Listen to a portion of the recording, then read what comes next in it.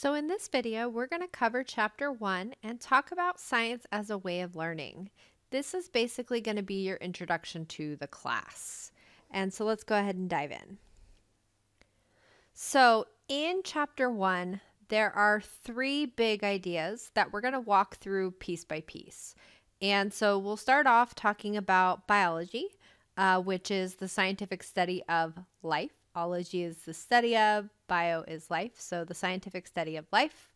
So we'll talk about what makes things be classified as living, um, how are things broken down, etc. Then we'll move on and we'll talk about the process of science. So, how do we go through and look at the scientific method? And then finally, we'll finish off talking about the five unifying themes in biology. So, we're going to start out with the nature of biology. So, science is an inquiry based way of knowing. It's a body of knowledge about the natural world, a collection of unified insights about nature, the evidence of which is an array of facts. And so, a couple keys here, right? Facts are important. In science, we deal in facts, not just what people use in everyday language as a theory. You'll see later that an actual theory is something different entirely. Biology is the scientific study of life. Now, biologists ask a wide variety of questions, all related to life and how it works. And there are many, many different subspecialties within the, the umbrella of being biology. So, some scientists might look at how does a single cell develop into an entire organism? So, this would be like a developmental biologist. This is what I studied as an undergrad, right? For me, I was always fascinated how does that one cell know which end is a head and which end is a feet, and one side is left and one side is right.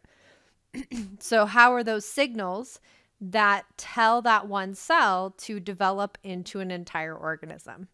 So, some biologists might study that aspect of life. How does the human brain function?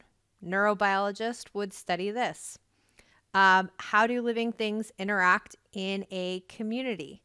So, this would be like an ecologist, for example, would study how living things interact, right? So, looking at predator prey relationships, um, other types of interactions among members that live in a community. So, biology is very broad and there are many different fields within it, but again, they're all related to life and how it works. So, we need to start off by talking about what is life. How do we classify something as being living? And so life is defined by a group of seven characteristics that are possessed by living things. And we're going to walk through and talk about those seven characteristics.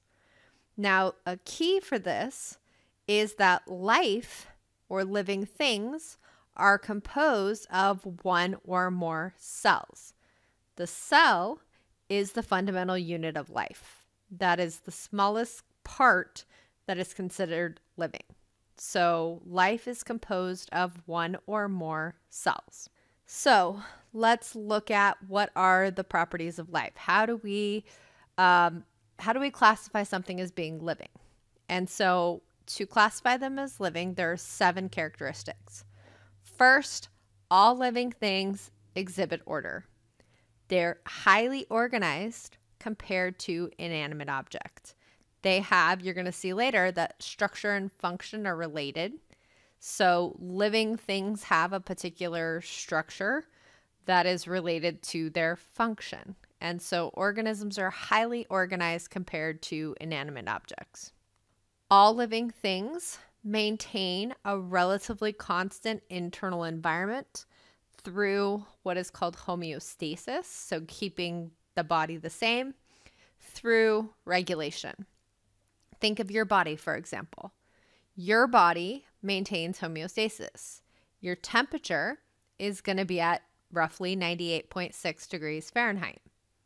How does your body maintain that relatively constant internal environment? Well, we our body responds to environmental conditions. Think of if you're hot if you go outside in the sun during summer, what's going to happen to your body as a result. And that is that as your temperature goes up, your body's natural response is to sweat. The sweat serves the purpose to help bring down the temperature. If on the flip side, you go to uh, Minnesota in the winter and it's freezing cold, right? And your body is cold. What is your body's response going to be to cold temperatures? Answer shivering, right? Because that movement is going to help to raise your body temperature. So, living things maintain a relatively constant internal environment. All living things grow and develop. Think about us, for example, right? We start out as one single cell. Egg and sperm come together during fertilization. We start out as a single celled zygote. Do we stay a single celled organism? No, we don't, right? We grow, we develop, we go from one cell into trillions of cells. Even single celled organisms grow and develop. All living things utilize energy. All living things have to be able to take in and use energy. So, for us, for example, the way that we get energy is through the food that we eat. We are, you're going to see later, we are what's called a heterotroph. Hetero, other, troph, feeder. We have to consume our food in order to survive. Other organisms might use sunlight, for example. That might be their form of energy. What organisms can you think of that do that? Plants, right? Plants do a process called photosynthesis. They are able to convert solar energy, meaning energy from the sun, and convert it into chemical energy, which means to make, right? To make glucose. They make their own food but all organisms have to utilize um, energy. All living things respond to their environment. Even organisms as simple as bacteria, they respond to their environment. They can display something called chemotaxis. Chemotaxis means that they respond to a chemical signal. Sometimes it might be a positive chemotaxis, meaning they go towards the stimulus, let's say food, right? They're attracted to that food. Other chemical signals might work as a negative chemotaxis, meaning that the bacteria is then going to move away from that chemical, like if it's a waste product or it's toxic. So, all living things, even simplistic organisms, respond to their environment. All living things reproduce. They have to give rise to more organisms. Now, does that mean that if, let's say, a person is infertile. Like they're not able to have kids. Does that mean that they're not living? No, right? But as a general whole, living things can reproduce. And lastly, all living things evolve from other living things. They all come from one universal common ancestor, one cell that started out and eventually gave rise to all the diversity that we see in life. So, this is just breaking down and looking at some examples of the different properties of life. So, again, if we look at order, we can see um, this plant has a very ordered structure. If we were to look at, let's say, a pine cone, a pine cone is a very organized, ordered structure. Reproduction right? So notice we have an elephant and they gave rise to a baby elephant, right? So all living things can reproduce. Living things can grow and develop, right? So we see this um, animal hatching out of an egg. So it's growing and developing. Energy processing, right? So this um, this insect here is eating a plant. It's taking in energy and it's getting that energy from the food that it eats from the plant. The plant gets its energy from sunlight. But all living things have to process energy. Response to the environment. So, what you're looking at is a Venus flytrap. And that Venus flytrap, when its prey lands in the Venus flytrap, it's going to respond and it's going to close to capture its food. Regulation, right? So, this regulation, you're seeing this um, lizard that is laying out on a rock. And in the morning, when it's colder and they need some warmth, they will go lay out in the sun to regulate their body temperature. And then lastly, all living things evolve from other living things. So they have what's called evolutionary adaptations, right? So if we look at this fox, it has this thick fur coat, which is used to help keep it warm. That's an evolutionary adaptation. If you think of evolutionary adaptations, other examples could be camouflage, right? Some insects, for example, blend in with their environment, and that's an evolutionary adaptation. It gives the insect an advantage because it makes it more difficult for that animal to be prey because the predators can't see it. So that's evolutionary adaptation. So every living thing on Earth belongs to one of three domains of life. Our three domains of life are bacteria, archaea, and eukarya. All members of domain bacteria and archaea are single celled microbes. They're what we call unicellular. Uni means one, cellular cell. They're made up of one cell. They are referred to as microbes because they're not able to be seen with the naked eye. You have to have a microscope to be able to see these organisms. Bacterial and archaeal cells um, do not have a nucleus. They don't have a membrane bound um, nucleus. The DNA is not contained within a separate membrane. And as a result, bacteria and archaea are what we what we call prokaryotes. Prokaryotes, pro means before. Karyote is kernel, like corn, before the nucleus. So bacteria and archaeal cells, those two domains, they are made of prokaryotic cells. In contrast, all organisms in domain eukarya are composed of one or more cells that have a nucleus. And because they have a nucleus, we say that they are eukaryotic. Now, notice bacteria and archaea, those are always unicellular. Eukarya can be either unicellular or multicellular. So, historically, domain eukarya is composed of four main kingdoms. So you're going to see in a minute that when we look at how living things are classified, domain would be the most broad form of classification. Then, as we start to get more specific, the next layer of classification is the kingdom. And so within domain eukarya, there are four main kingdoms. We have plants, animals, fungi, protists. Now, protists, you'll see a note here that says actually multiple kingdoms. And that's because historically it was this four main kingdom system. However, scientists are now reclassifying protists and separating them into separate kingdoms.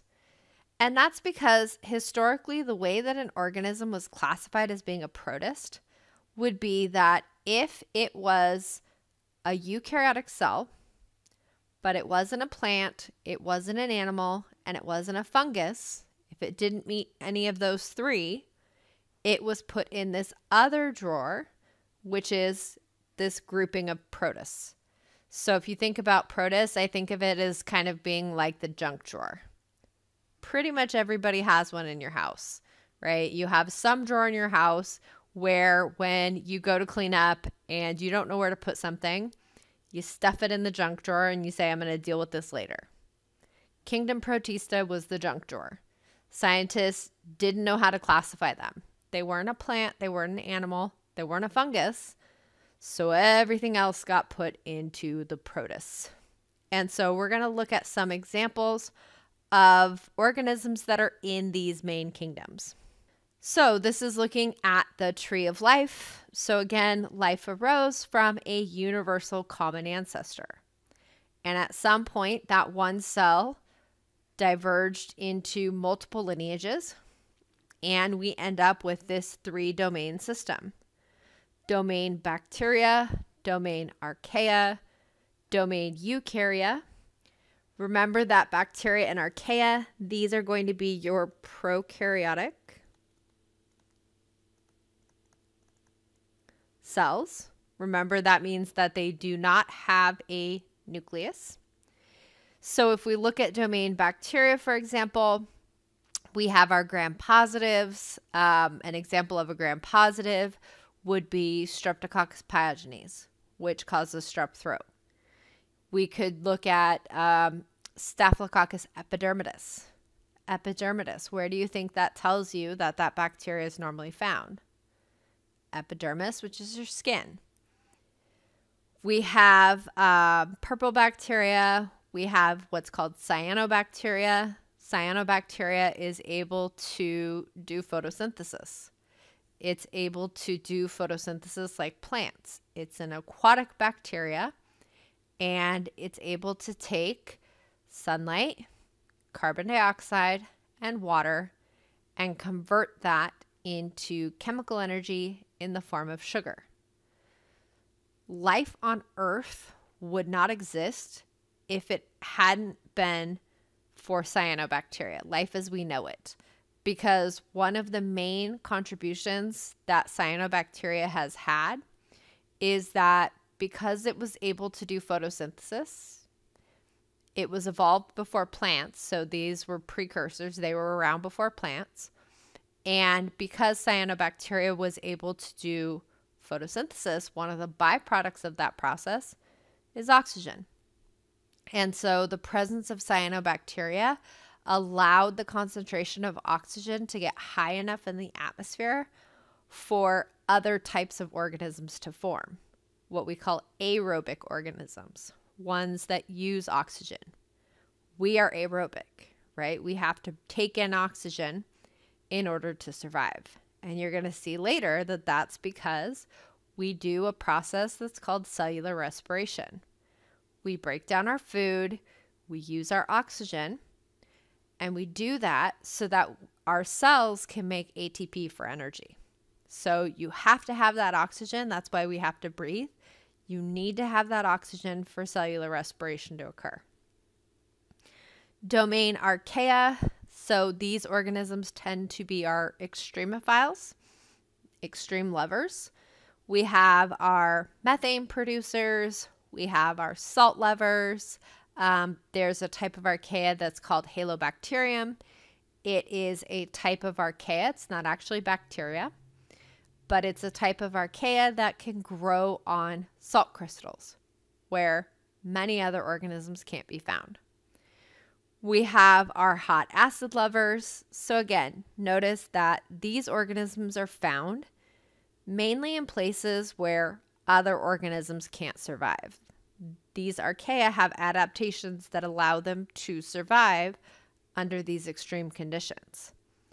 Now, interestingly, if you look at this diagram, you'll notice that this universal common ancestor branched into two lineages.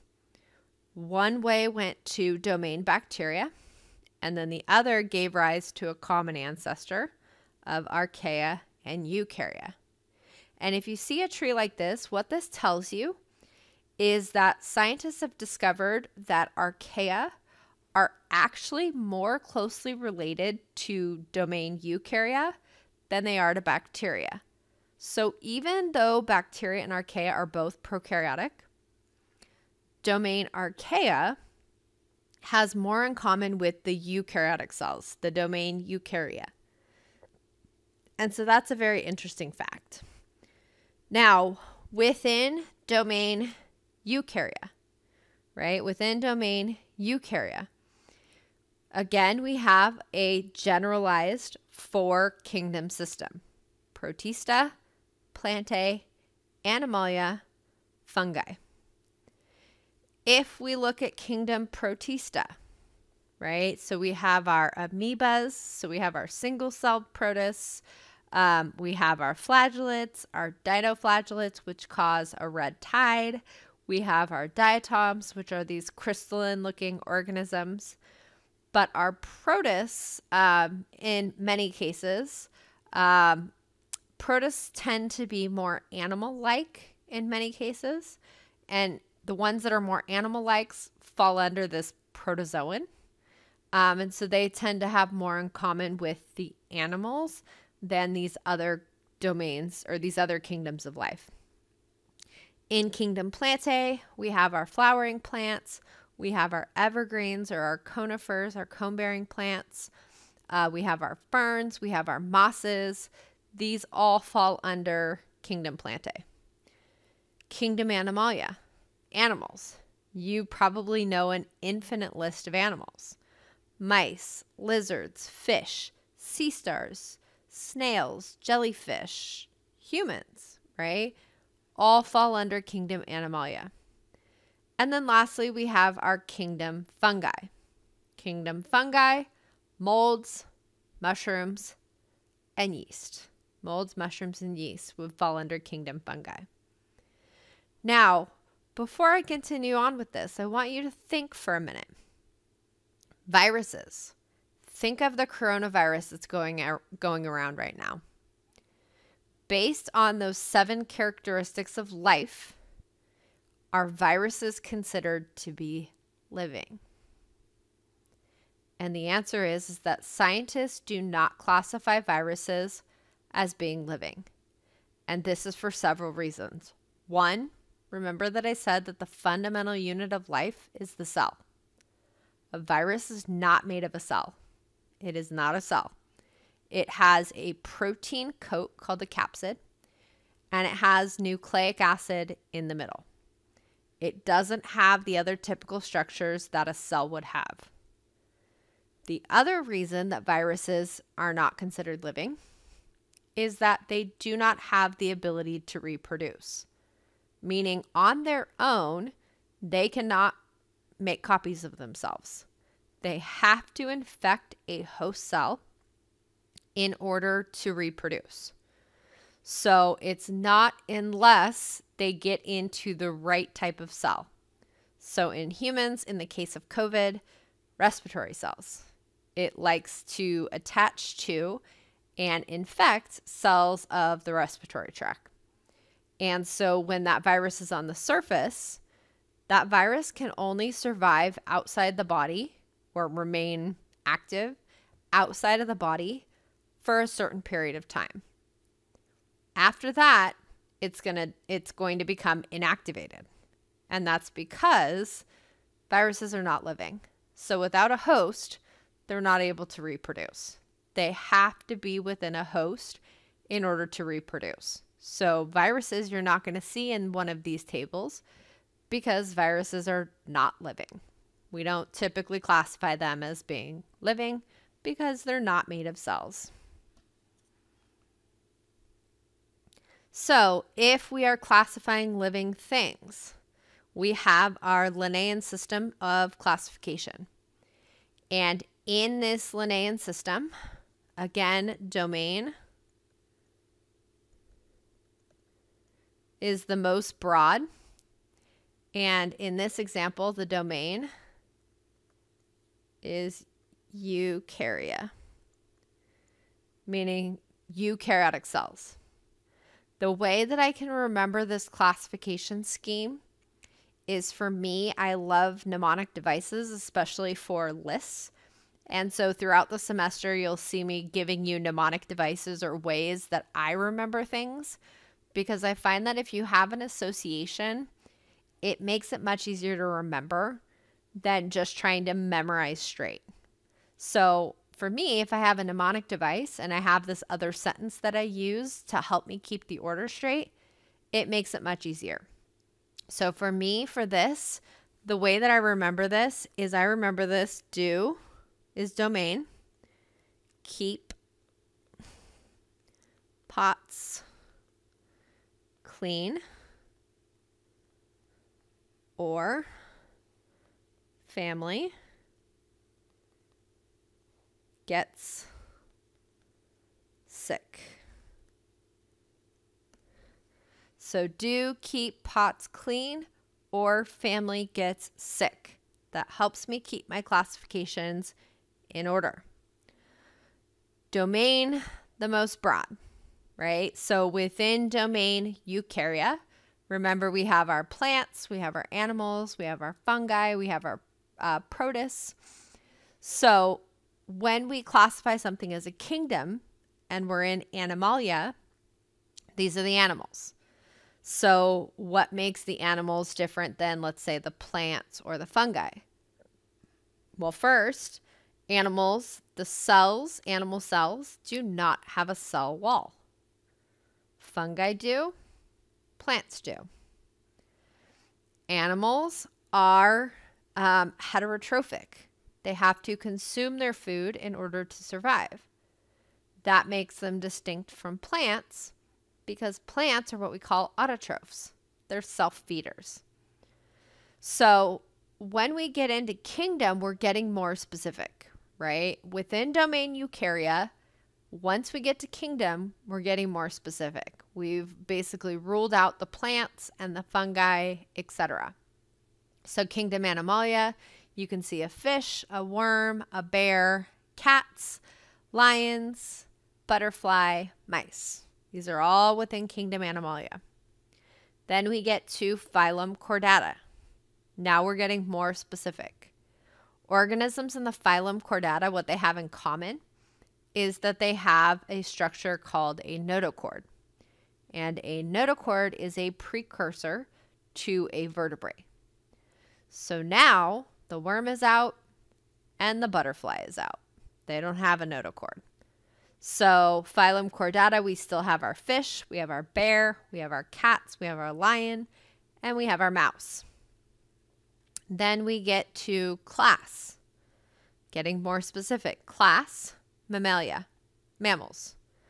These are animals that the females have mammary glands to feed their young. They feed their young using their mammary glands. They also have hair. Do fish have hair and mammary glands?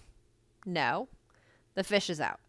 So we still have our bear, we have our cats, we have our lion, and we have our mouse.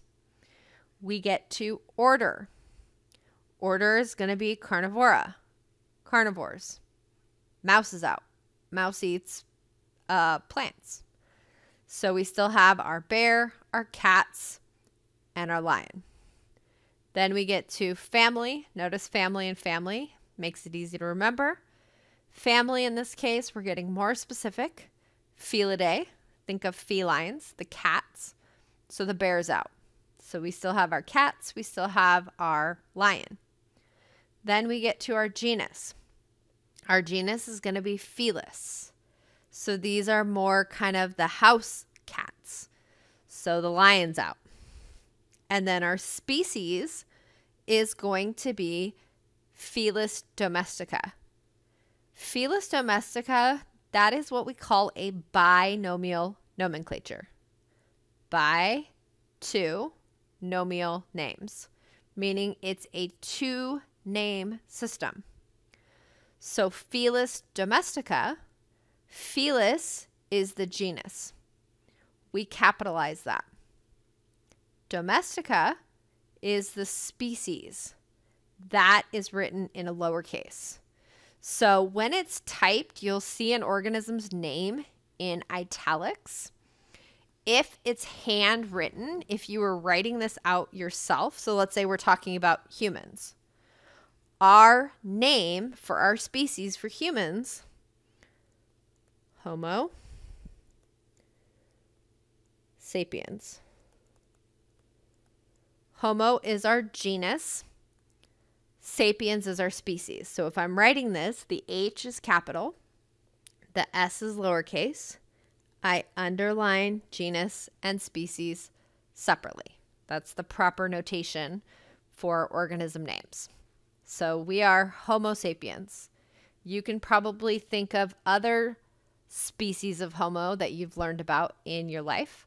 Homo neanderthal, so our Neanderthals. We have Homo erectus, right? Homo sapiens, etc. Now, we need a biological definition of a species. And a species is a group of organisms that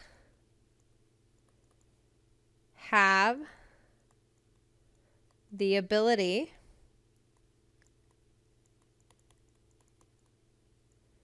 to breed and produce fertile offspring. So, a species is a group of organisms that have the ability to breed and produce fertile offspring. Both of those components are important. So, a mule, which is a cross between a donkey and a horse. A mule is not a species, it's not able to reproduce and give rise to fertile offspring. So, a donkey is one species and a horse is another species. They're not the same. Yes, they can breed together, but they don't produce fertile offspring. So a horse is a separate species than a donkey. So that's a species. Now, like all things in science, while this is the biological definition of a species, obviously this doesn't work in every case. Bacteria, for example, you can't use this definition to describe a species of bacteria because bacteria don't have to breed and produce fertile offspring. They reproduce asexually without a partner. They simply just duplicate themselves, they make a copy and divide into two. So it gets a little bit different when you look at other types of organisms, but this is kind of a generalized definition of a biological species. So, if we look at life, life is arranged in a hierarchical manner, meaning that the lower levels of organization are progressively integrated to make up higher levels. The fundamental unit of matter is the atom. Chapter 2 we're going to learn a lot about chemistry. We'll talk about the parts of the atom, etc. So, our first layer to this hierarchy is the atom. So, in this case, we're looking at a hydrogen atom. A hydrogen atom has one proton, one electron. Very simple. You can put atoms together to make a molecule. In this case, water is a molecule, H2O. It's when you put two hydrogens with one oxygen. So notice that we're putting atoms together and we're making a molecule. We can put molecules together to make up an organelle. So we could have, if we're looking at the nucleus, it's made up of different types of molecules. The nuclear envelope is composed of lipids. The genetic material within the nucleus is made of nucleic acids. So notice that this structure, this organelle, is a collection of different molecules. So you put molecules together, next level is going to be the organelle. You put organelles together, you get a cell.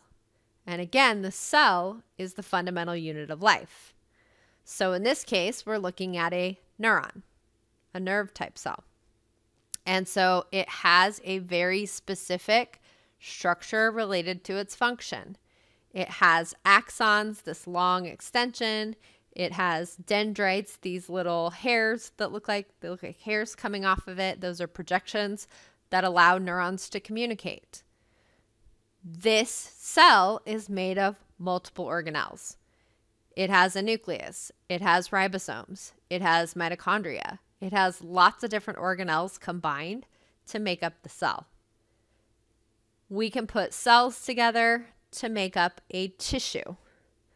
So the tissue could be the nervous tissue. It could be made of um, neurons. It could be made of connective tissue.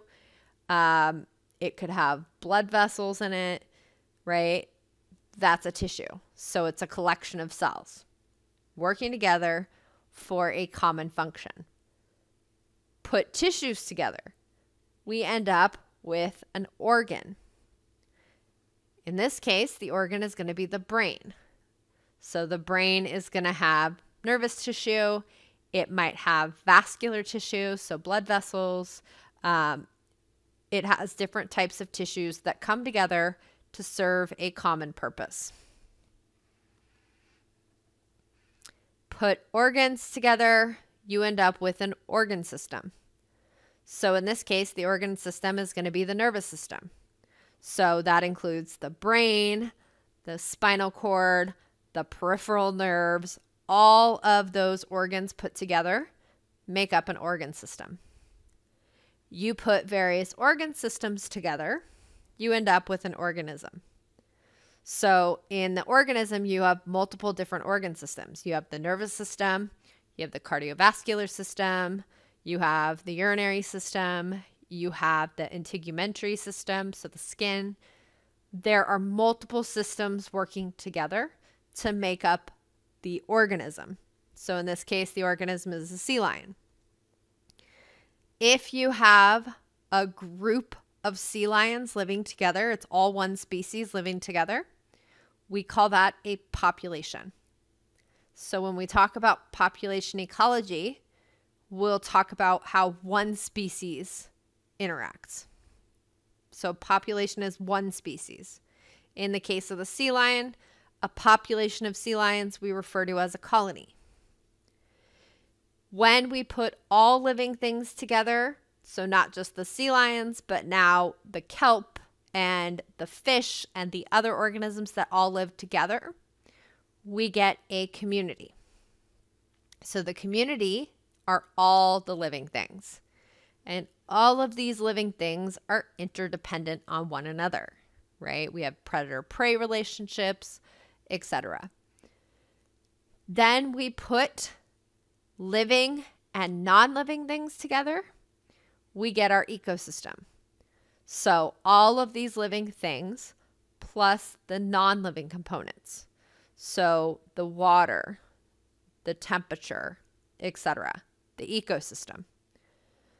The example in this case, the Southern California coast. That's the ecosystem. It's not just the living things, but it also includes the non living components as well.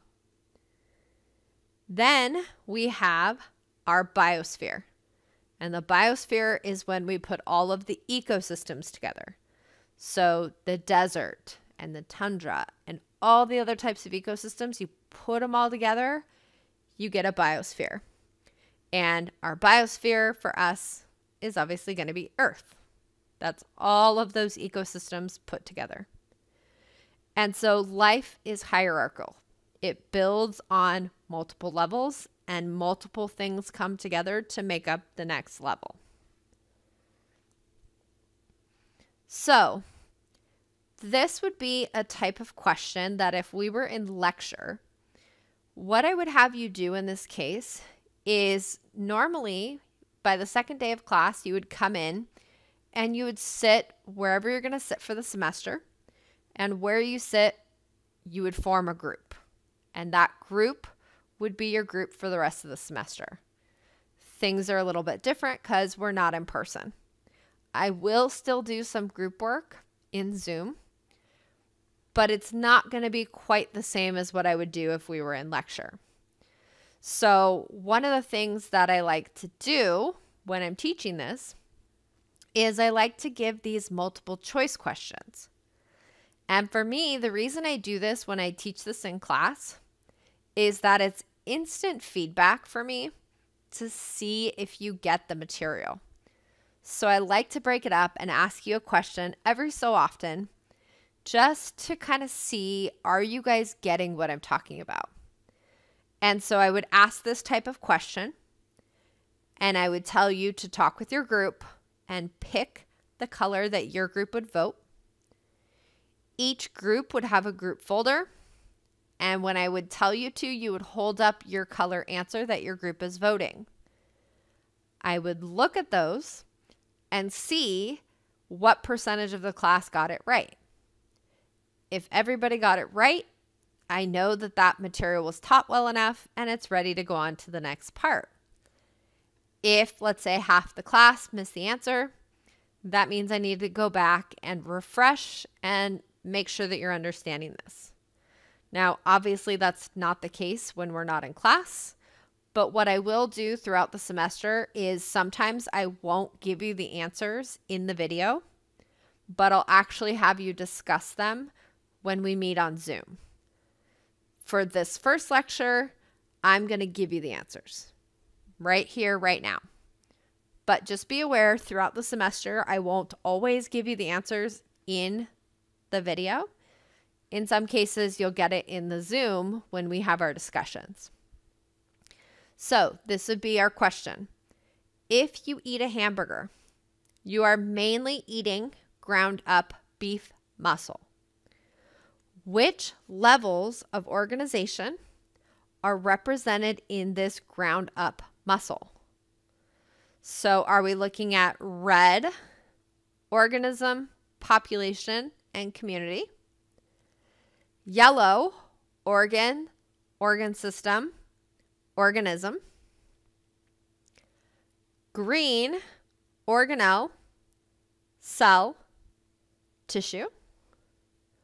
Or blue, tissue, organ, and organ system.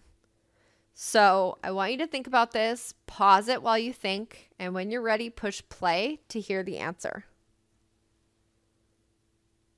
Okay, if you said green, you are correct. Organelle, cell, tissue, right? So the muscle cells working together make up the muscle tissue. Within those cells are various organelles.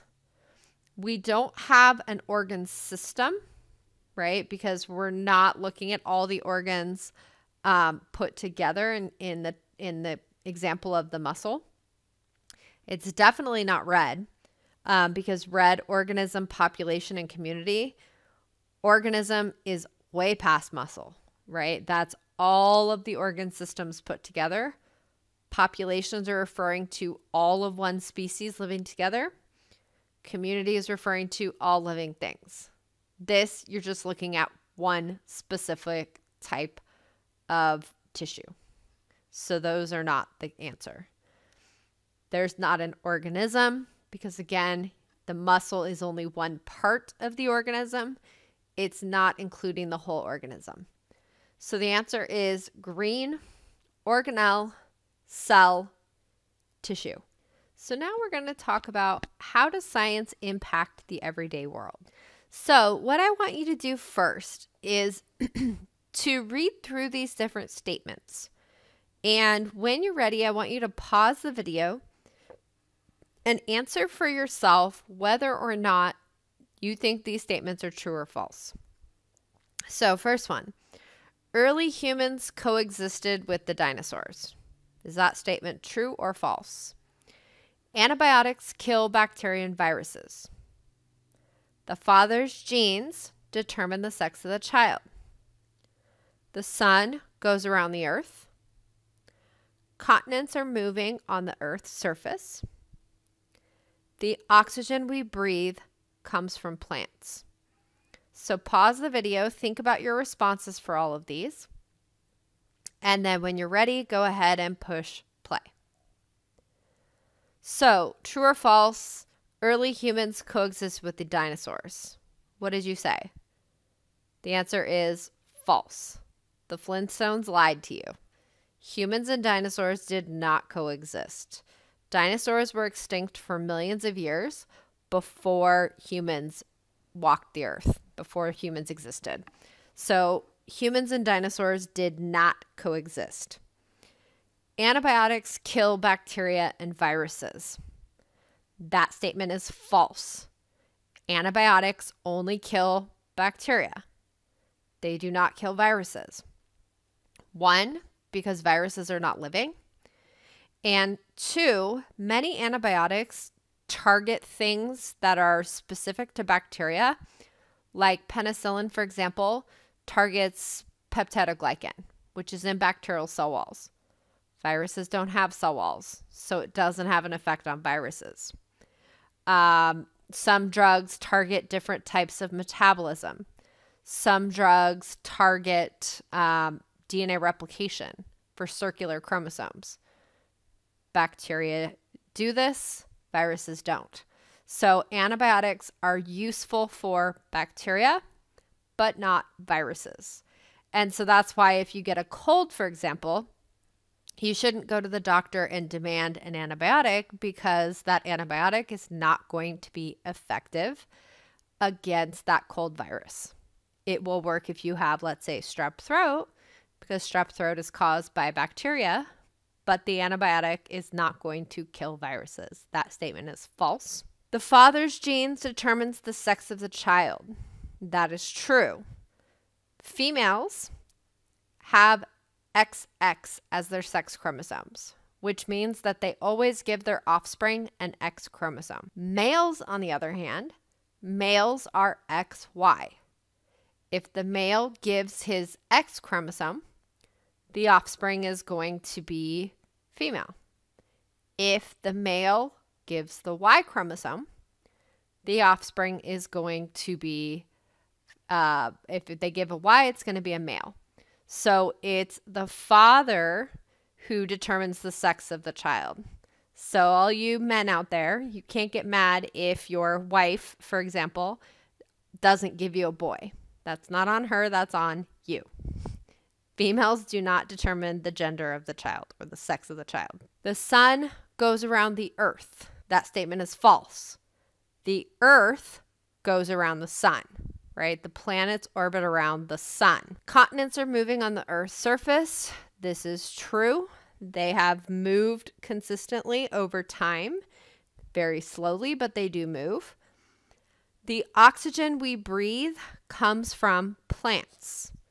That statement is true. Now, let me be clear though. The oxygen that we breathe comes from plants. Yes, plants do provide some oxygen, but technically, you might also be able to say that's false because bacteria also produce that oxygen. But we're going to keep it simple. The oxygen that we breathe from plants, true. So, a survey was done um, to Americans, and the survey is about probably eight years old now. But it was looking at to see what percentage of the American population knew the correct answers to these true false. So let's take a look. So, in terms of early humans did not coexist with the dinosaurs, only 48% of the American public knew that, that knew that statement. So, half of Americans thought that humans and dinosaurs coexisted. Antibiotics kill bacteria but not viruses. Again, it's about half, so 51%.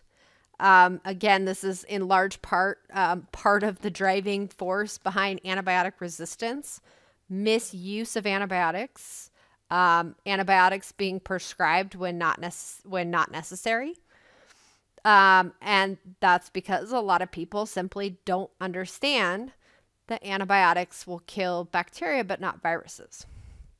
The father's genes determine the sex of the child. 65% of Americans knew that. The earth goes around the sun. 75% of Americans knew this. Continents are moving um, on the earth's surface.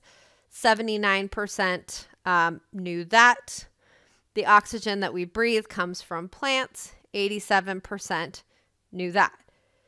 So, what this tells you is that Americans' knowledge of science is uneven at best, meaning that we might understand as a whole as a country. We understand some concepts, more than others. And if you look at this, one of the things that strikes stands out to me is that we looks like we tend to know earth science. So more of the physical science, people understand that better than let's say biology, life science.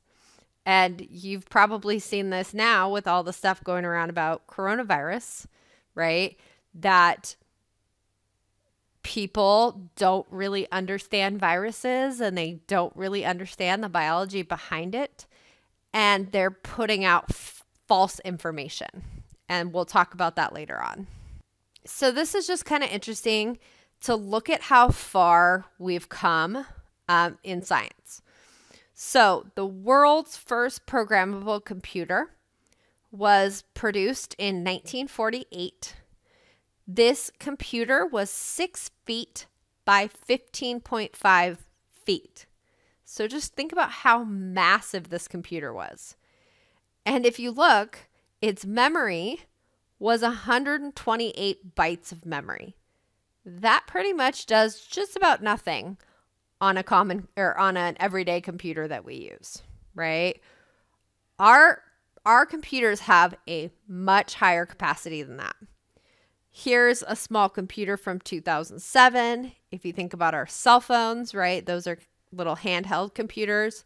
Flash drives, those little teeny drives, have 10 million times more memory capacity than that massive computer. Science has come a long way, and you're going to see this more and more as we go throughout this session. So now we're going to look at the process of science and talk about how science uh, is performed.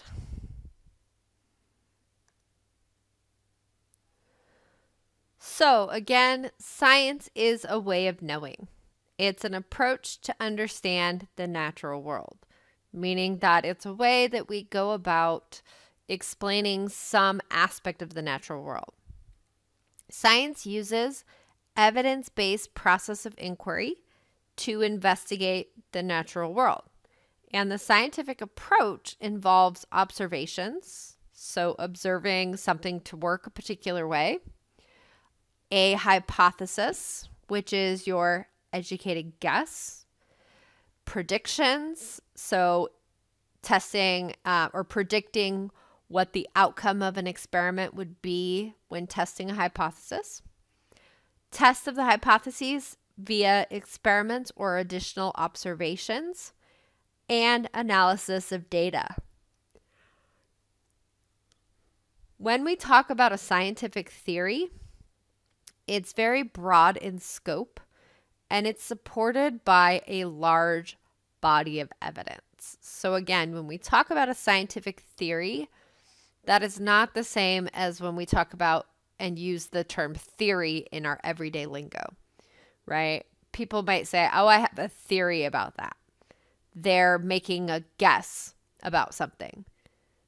But in science, a theory is supported by evidence, meaning you have to have evidence in support of that theory. Can you ever prove a theory? Answer is no. You can never prove a theory with a, with 100% certainty. You can provide evidence that supports that theory, meaning it's disproving the alternative hypothesis, but you can never prove a theory. It's never, it can't be proved. It can be supported by evidence, but you can't ever prove a theory. So there these are listing some examples of different theories. So, one is what's called the cell theory, and that is that all organisms are composed of cells and new cells only come from pre existing cells. We have homeostasis, that's a theory. The concept is that the internal environment of an organism stays relatively constant within a range that is protective of life. Again, your body temperature has to be maintained within a relatively small window. You can't get large fluctuations in temperature or you die. So, homeostasis needs to be maintained. Evolution. This is one of these central themes in biology. And evolution, the concept is a change in the frequency of traits that affect reproductive success in a population or species across generations, meaning the better adapted an organism is for their environment, the more likely they are to survive and pass those traits on with greater frequency to the next generation. When we talk about data, there are two main types of data. We can have what's referred to as qualitative. Qualitative means that they are recorded recorded descriptions. So if we look at Jane Goodall, who's a scientist, she studied uh, chimpanzee behavior. That would be a qualitative, in many cases, a qualitative type of data, describing their behavior, describing what she sees. If we say that data is quantitative, that is something that can be recorded measurements. We could say they eat five grams of bamboo every day or whatever it might be. But you're talking in terms of numbers now. In terms of which is stronger types of data and evidence, quantitative, right? Because numbers are not subjective. Qualitative, recorded descriptions can be somewhat subjective. For example, I could say, you know, that that man is not very tall. And let's say that that man is five foot nine. That man is not very tall. Well, to some people who are maybe five feet tall, a five foot nine man is relatively tall. But I'm 5'10, and so to me, I might perceive five nine as being not very tall. So notice that I have my own bias, right? I have my own opinion. Um, it's very subjective. And so qualitative data is not as strong as quantitative. If I say how tall that person is and I say that they're five nine, that is much more telling than just simply saying that man is not very tall. Well, what do you consider tall versus not tall, right? And so that's where the su- subjectivity comes into play. So now we're going to walk through and we're going to talk about the scientific method. So, the first part of the scientific method is the observation. And the observation is a piece of the natural world that's observed to work a certain way. So, let me give you an example. Let's say that I decide to go camping and I'm starting to pack all of my stuff. I'm packing my bags to go camping. Go to the garage, take out a flashlight to bring a flashlight. Go to turn on my flashlight. Flashlight won't turn on. My observation flashlight doesn't work. Can't get the flashlight to turn on. That's the first step, right? I have my observation. Next, we have our question. The question is the what, why, and how. So if I'm looking at my observation is that the flashlight doesn't work, what would be my question? What question would I ask in response to this observation? And the question would be, why doesn't the flashlight work? Right? Why doesn't the flashlight work? I observed that the flashlight didn't work. Now I'm asking the question, why doesn't the flashlight work? Then we have our hypothesis. And the hypothesis is a tentative, testable explanation for an observed phenomenon.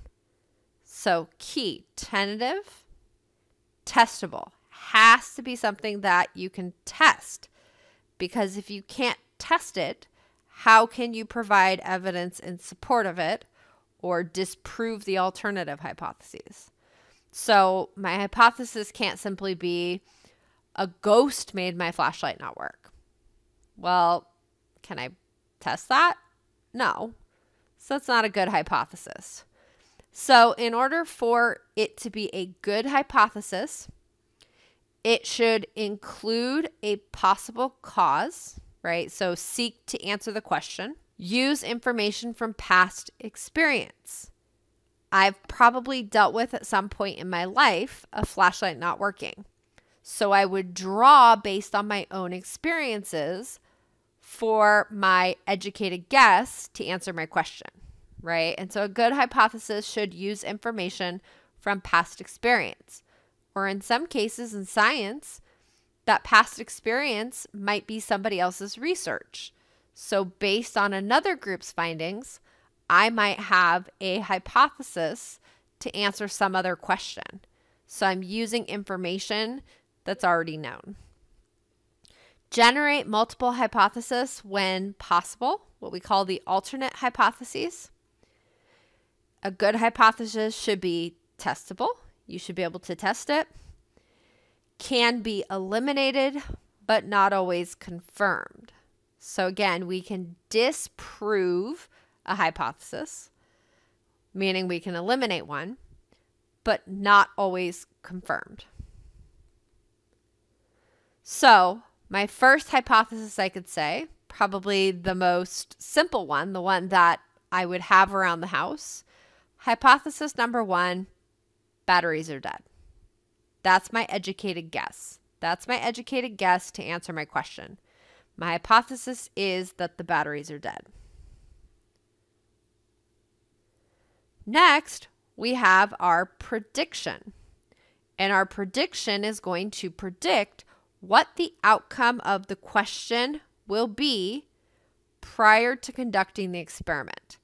So basically, when you're thinking about your prediction, you're thinking about if you do an experiment, what would you predict to see if your hypothesis is correct?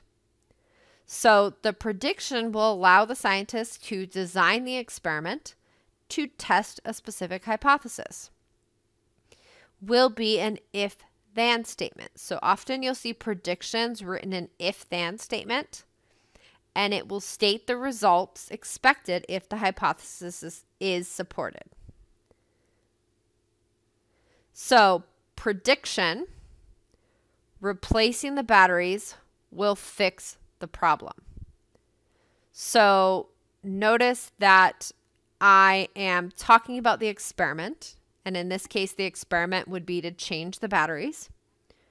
And I'm predicting what the outcome would be if my hypothesis is correct.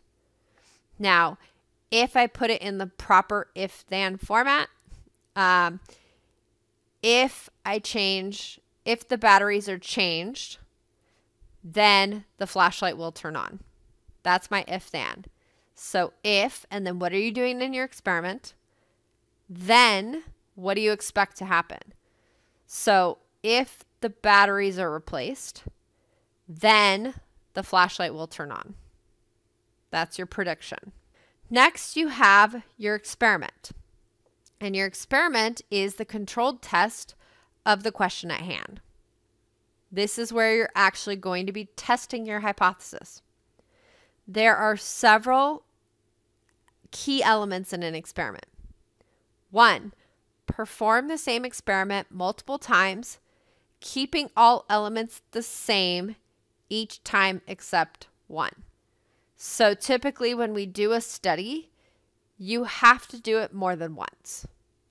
Doing it just one time is not strong enough evidence to be sure of your conclusion. You need to repeat the experiment several times. The one adjustable condition in the experiment is what we call a variable. So when you do an experiment, you should only change one variable at a time.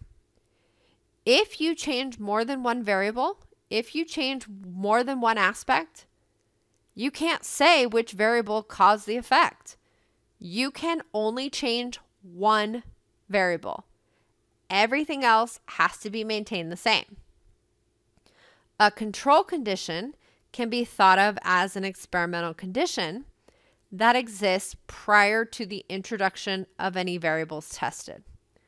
So, my control in my flashlight experiment, right, would be the flashlight with all of its original components. The variable, right, if I'm if I'm testing to see if the batteries work, my experiment would be to change the batteries. That's the only thing I'm changing.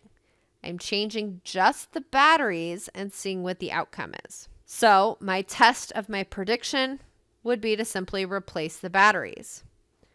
So let's say that I replace my batteries. So if your hypothesis was falsified, you then propose an alternative hypothesis. So if I replace the battery and the flashlight still doesn't turn on, well, then if that's the case, right, then I can rule out that it was the batteries. So now let's think of what the best approach would be to test something else. So start with the alternative hypothesis. So notice in my flashlight experiment, the results, the flashlight doesn't work, and my hypothesis is contradicted. So it was not the battery. Hypothesis number two, the bulb is burned out, right? So if I changed my batteries and the flashlight didn't turn on, it's not the it's not the batteries. Now think about this. If I leave the new batteries in, if I leave the new batteries in, and now my hypothesis is that the bulb was burnt out. The prediction would be that replacing the bulb will fix the problem. The test of the prediction would be to simply replace the bulb. The result, flashlight works, hypothesis is supported. So now we have evidence in support of the hypothesis. Now, if I left in, if I left in those new batteries and then I changed the bulb, do I have only one variable from my control? Answer is no, because I have new batteries and a new bulb. So if both of those have been altered and the flashlight turns on, well, is it just the bulb alone? Was that enough to allow the flashlight to turn on? Or was it the bulb and the batteries? So notice if you have more than one variable, you cannot make an assumption about if your hypothesis is supported. So the correct way to do this experiment would be after you test the batteries, put back in the original batteries. Then change the bulb. If you change only the bulb and the original batteries are in, and now it turns on, now you can make the appropriate conclusion. And that is that it was the bulb that was burnt out because changing only the bulb allowed the flashlight to turn on. So that is something that you really want to think critically when you hear about people making claims about something in science, you got to think critically. Did the is the way that they did the study the correct way? Did they change more than one thing? If there's more than one variable, you can't make a very good conclusion about the results because which thing that you changed had the greater effect. So it's really important in the scientific method that for a particular experiment, it only can have one variable, one thing that's changed.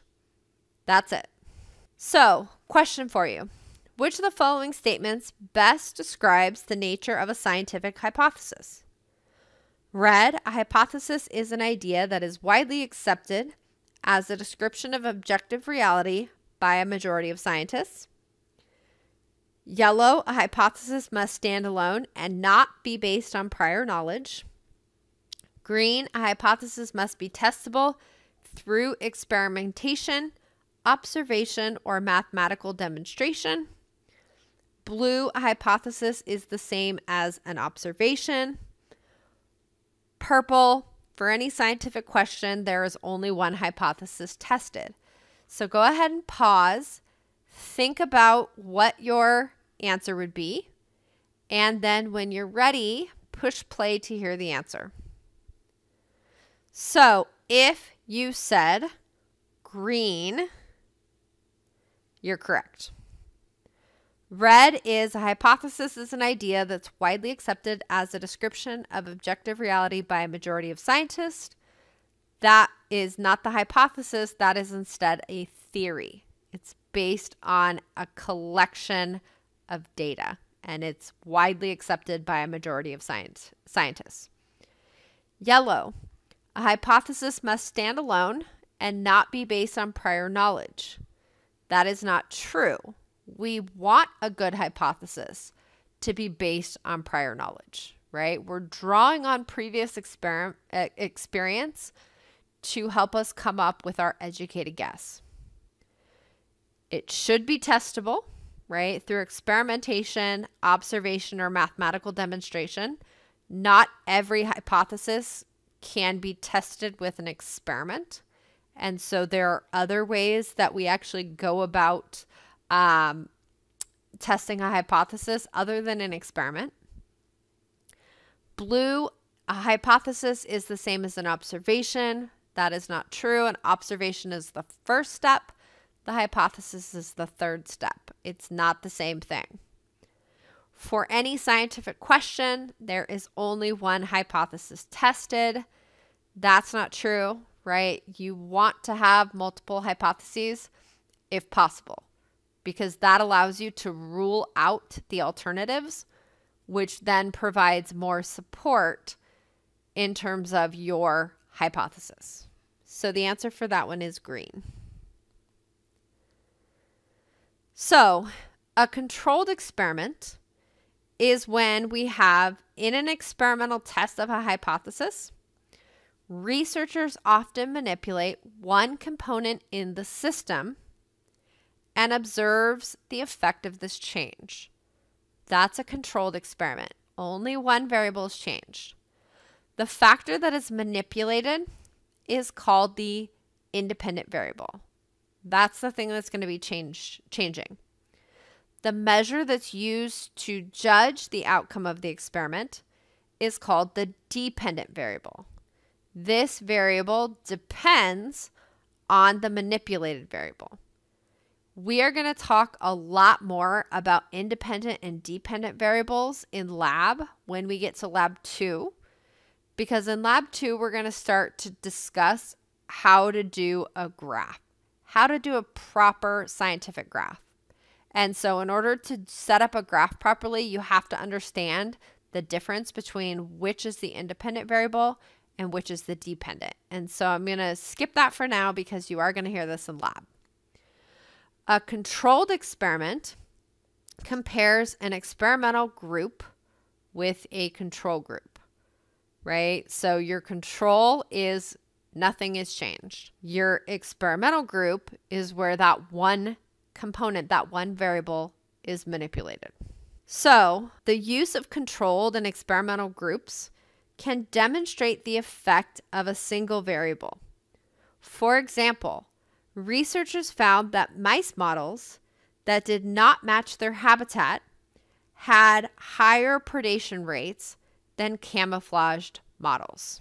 So, this was a field study, meaning that it wasn't done in a lab, but actually out in the population. And so, what scientists noticed was that the beach population of mice um, had a lighter coloration, whereas the inland population of mice had more of a brown color.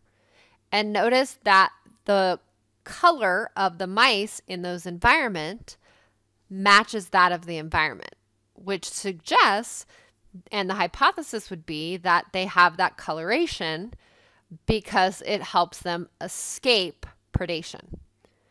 So, what the scientists did was they made um, 250 plastic models of mice, and they either painted them the native color, meaning for the beach population, they painted them the lighter color, or they painted the non native population, meaning the other color, the brown.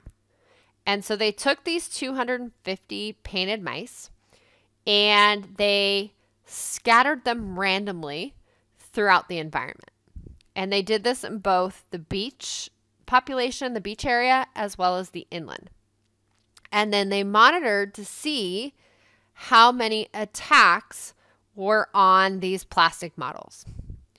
So, what you're looking at is if we look at the data for the beach, the light habitat, the number of attacks on camouflage models, meaning that in this case, that's your control.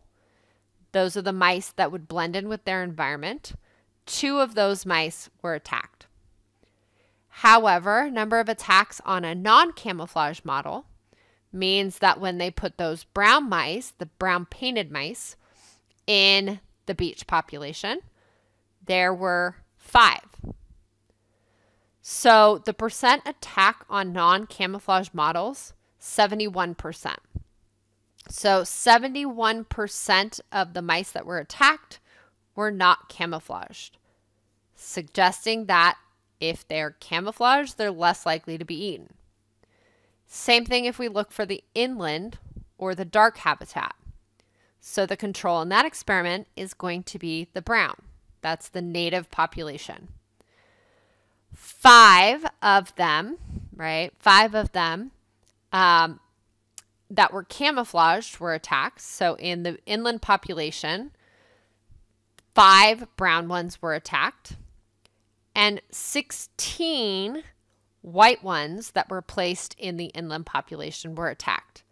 So again, we can see 76% were attacks on the non camouflage model. So again, this suggests that this coloration that we naturally see in these environments is an advantage because it allows them to escape predation. It allows it to escape predators. Now, think for a minute. They did this with painted models. They didn't use actual mice. I want you to think about why that might have been the case. What advantage does that give them about using the painted models versus using the mice? Remember, when you think of an experiment, only one variable. So if you did this experiment and you used the actual mice, what if the mice themselves had some sort of behavioral adaptation that allowed them to be that allowed them to survive better, meaning it wasn't simply due to their coloration.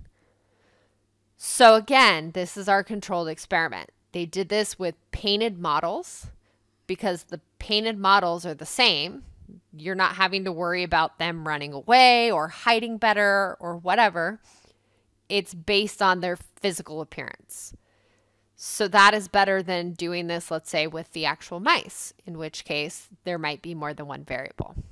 And so this is just to show you an example of a controlled experiment. And what this experiment showed is that if the mice looked like their environment, they were more likely to escape being preyed upon. Hypothesis can be tested in humans with clinical trials, as well as retrospective or prospective observational studies. Retrospective or prospective, retrospective means like looking back on observational studies, or perspective means like looking into that um, through observations, not actually a trial. We'll come back to those in a minute.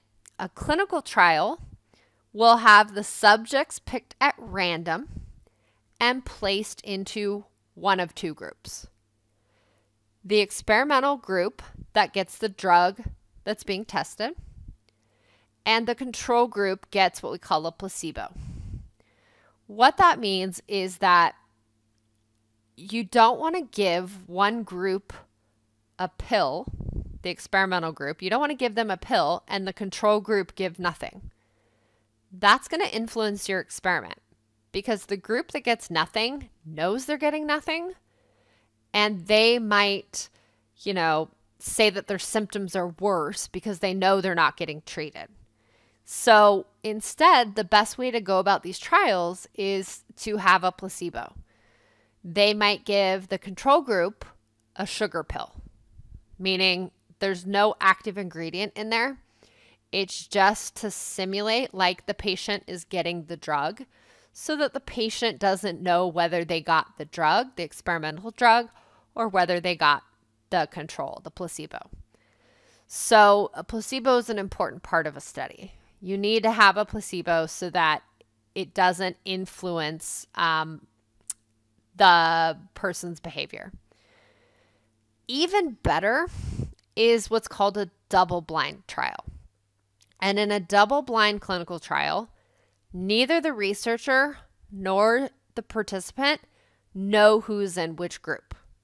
So the physician that's giving the drug does not know whether the person has the drug or the placebo. And again, that comes down to inadvertently, the doctor doesn't necessarily mean to, but if a doctor knows which patients are getting the drug and which ones are getting the placebo, they might treat the patients a little bit different based on that knowledge.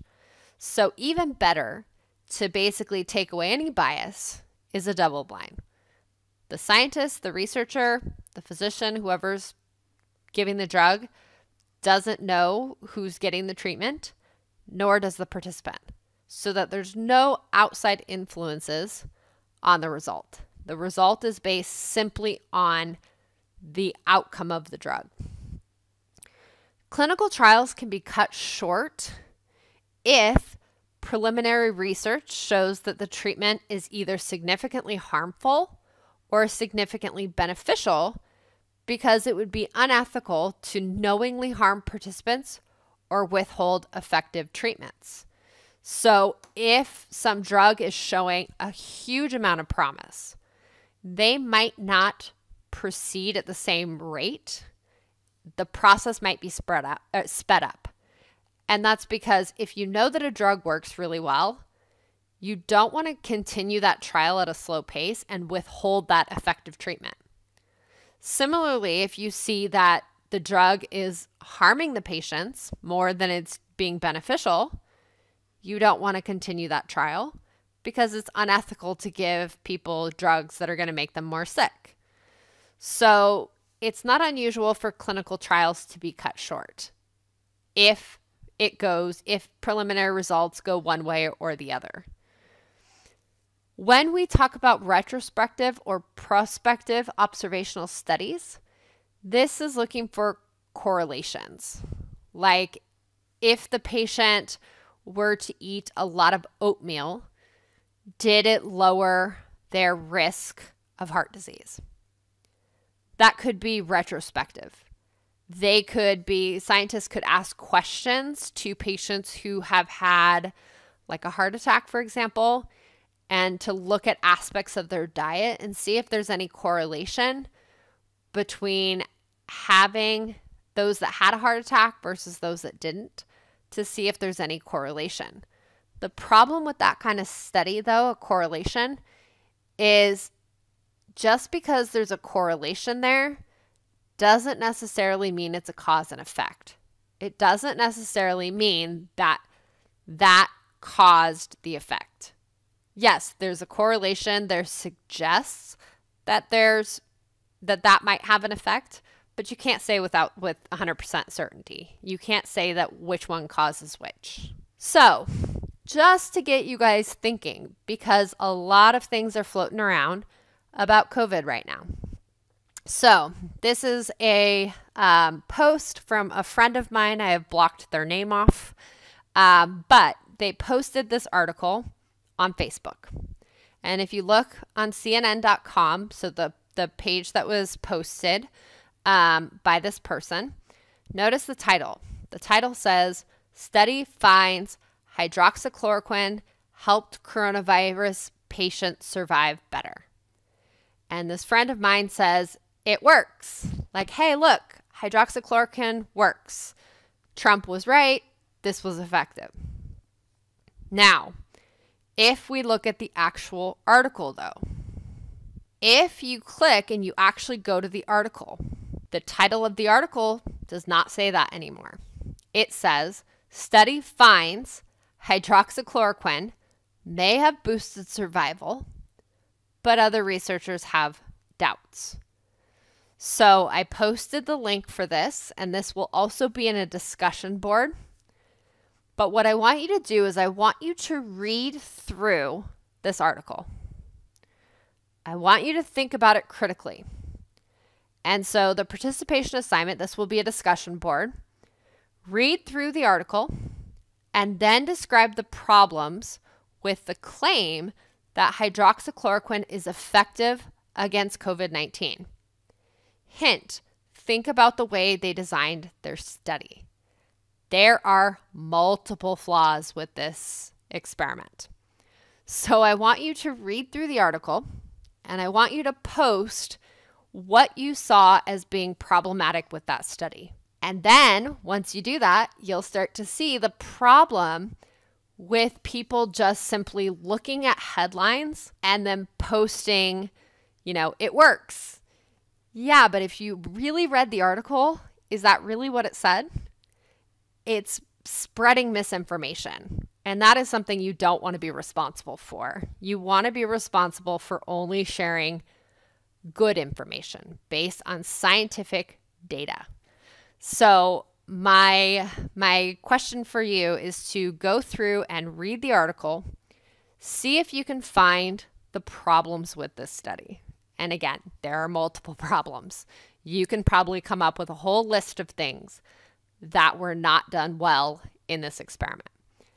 And so again, this is an exercise to get you guys to really think critically because there's so much information coming out daily about the coronavirus and about COVID, the disease. And you want to be able to look at something and read it critically. Don't just trust what you read, but read it critically and see if the data actually um, the data is actually in support of that claim. Is that a well designed study? Is that what the study actually shows? So that is going to be your participation assignment for this lecture is to read this article and comment on problems that you found with the study. So, hypotheses can be tested using observational data. And scientists test hypotheses about the evolutionary relationships of red panda. They wanted to know were the red pandas more closely related to the raccoons or the giant pandas. And so, based on observations of physical similarities, scientists initially hypothesized that the red pandas were more closely related to raccoons because physically they look more like the raccoons. Other scientists, observing that the diet and habitat of red pandas were similar to those of the giant pandas, place the two pandas together in their own family. However, recent studies comparing DNA sequences led scientists to classify red pandas as the only living species of their own family. They're distinct enough to not be classified with either because they have enough DNA, uh, enough changes in their DNA sequence. And so that is something that you're going to see when we talk about classification Classification is not a simple process. It is very difficult to group organisms based on common, shared common um, characteristics. Because which of those characteristics matter? Is it looks? No, not always, right? Because if you look at humans, we're a species. We have a lot of diversity in the way that we look. Other organisms, like certain birds, you can have two birds that look very similar, and to somebody who is not trained, they might think they're the same. But in fact, they're not the same species because they do not reproduce with one another. So, looking at an organism is often not enough to determine evolutionary relationship. And so this would be a type of observational data, right? Looking at the DNA sequences to compare which one it belongs with. So, the process of science is repetitive, nonlinear, and collaborative. So, repetitive, again, meaning that we have to do experiments multiple times. Nonlinear, because it's not just in one direction, it's interdependent uh, based on different groups, and collaborative because multiple groups work together. So, forming and testing hypotheses at, is at the core of science. The endeavor is influenced by three spheres exploration and discovery, that's the top orange one, analysis and feedback from the scientific community, that's the purple, and societal benefits and outcomes, which is the blue. So, all of these are going to play a role and influence the forming and testing of the hypothesis. They're all interdependent, right? And they're all going to work together to answer some question. And so, what you really want to think about is that, and again, this comes back to COVID. If you see one study from one scientist, and again, if you've been watching stuff about COVID, you're seeing all kinds of different scientists making different claims. This one says wearing a mask works. That one says that it doesn't. This one says that it protects against uh, the antibodies will protect against getting it again. This one says no. What you want to be careful about is to, again, be hypercritical. If I see one study by a scientist that's making a claim, one scientist is not enough to sway me. And the reason is there have been instances of scientists making up data. It happens more often than you think. There have been numerous publications in scientific journals that have been retracted based on discovering that scientists made up their data. A very, very common, popular one was um, Andrew Wakefield, a physician, was the doctor that wrote an article in the Lance, uh, Lancet, and he made the claim that vaccines cause autism, and that had major impacts. It led to a whole anti vaccine movement because they believed that vaccines cause autism, and people became very scared and stopped vaccinating. Problem is, Andrew Wakefield then later had to retract that paper because it wasn't true. And there have been numerous studies against that that say that that's not actually true. So, again, you need to be hypercritical and always think critically. Seeing something by one physician or one scientist, don't buy into the hype. See multiple scientists and multiple groups that are saying the same thing. That is carries much more weight. So, the last part of this lecture is looking at the five unifying themes of biology. So these are the five themes, and then we're going to talk about them in more detail. Evolution is the core theme of biology. Evolution is used to describe all of the diversity we see in life. It's a core theme of biology. It's absolutely essential to the field of biology. Life depends on the flow of information. Structure and function are related.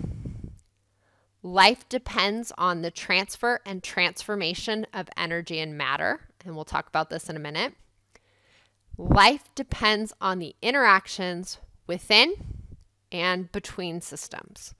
And so we're going to break down and look at these five unifying themes in more detail.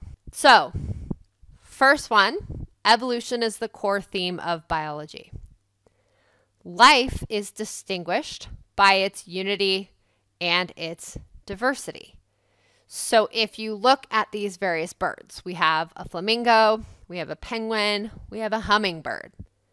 Notice there are a lot of diversities in terms of their structure, the way that they look. But there's also some unity and things that they have in common that make them be a bird. Webbed feet, um, a beak, wings, etc.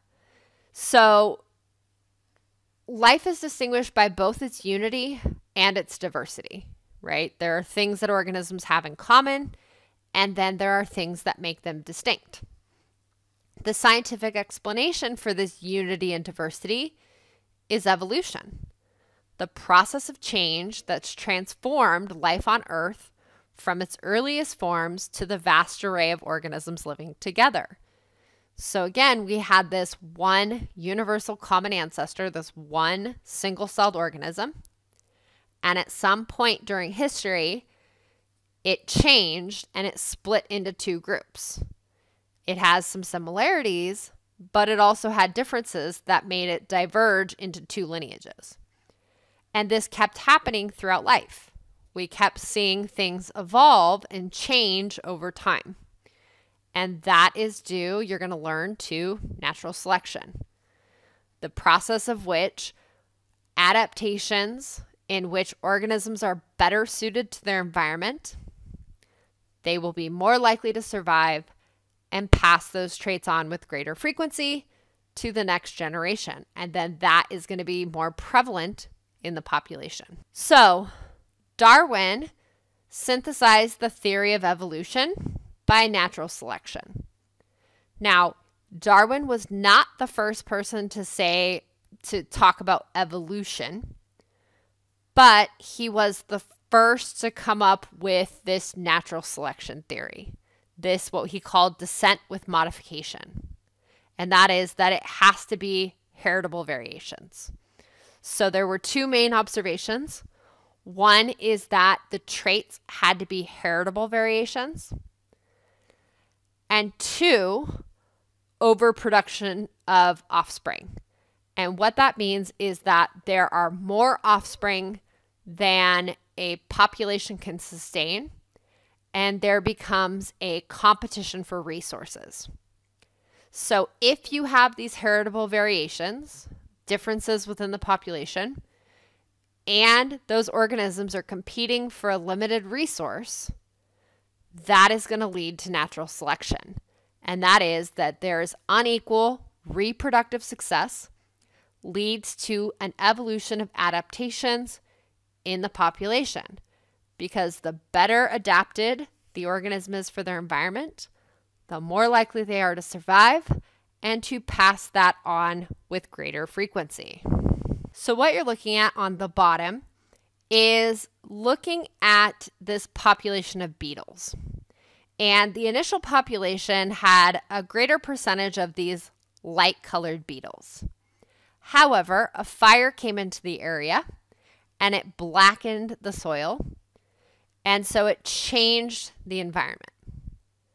So if you look at this population, it has varied inherited traits, meaning some beetles are naturally lighter, some are naturally darker. These are inherited though, they're passed down to their offspring. So if I look at that population, which of those prey would you guess would be more likely to be eaten by a predator? And the answer is probably the light ones. So, what's going to happen is that this bird comes in and it starts eating the beetles. And it's easier to spot the light ones. So, it's starting to eat the lighter ones. And the ones that are left to survive are the ones that are darker in color. So certain traits are selected for. It gives that organism a advantage which which allows them to be more likely to survive and to pass those traits on to future generations. And so what ends up happening is is when the dark ones are left behind and they start to reproduce, notice that your population has now changed you have an increase in the frequency of the trait that gives the dark beetles an advantage, right? Because the dark beetles are more likely to survive.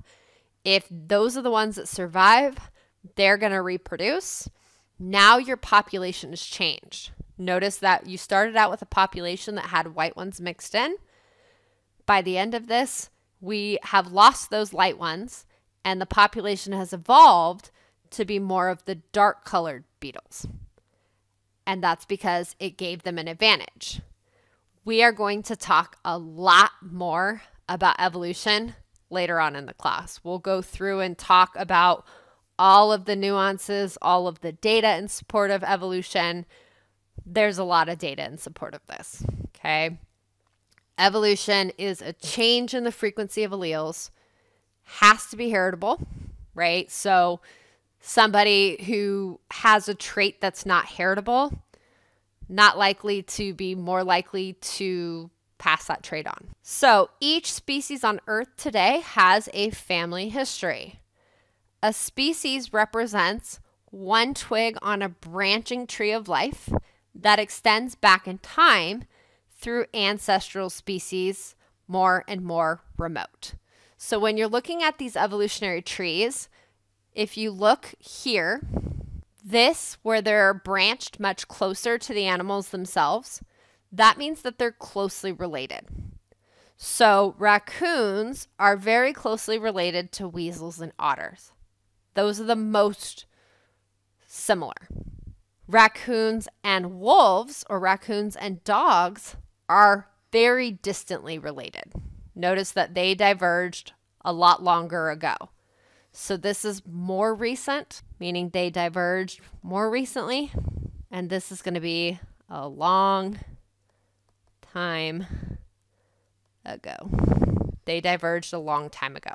And so if we look at the red pandas, again, the red pandas are put into their own group they have diverged. They're separate from raccoons as well as separate from the giant pandas.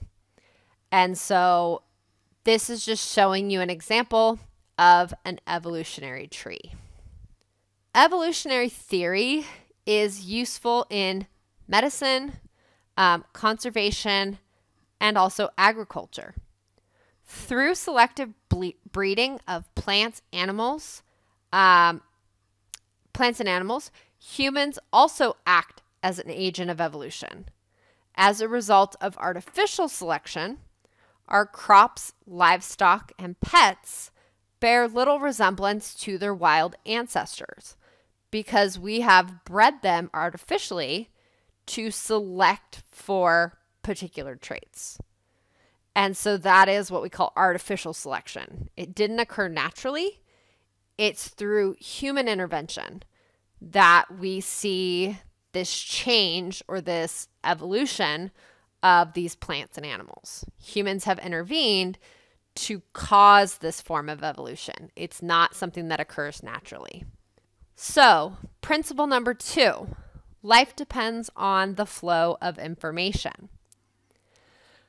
The process of life depends on the transmission and the use of information. DNA is responsible for heredity and for programming the activities of the cell by providing the blueprint for proteins. So, if we look at DNA, DNA is a double helix. It undergoes what we call complementary base pairing.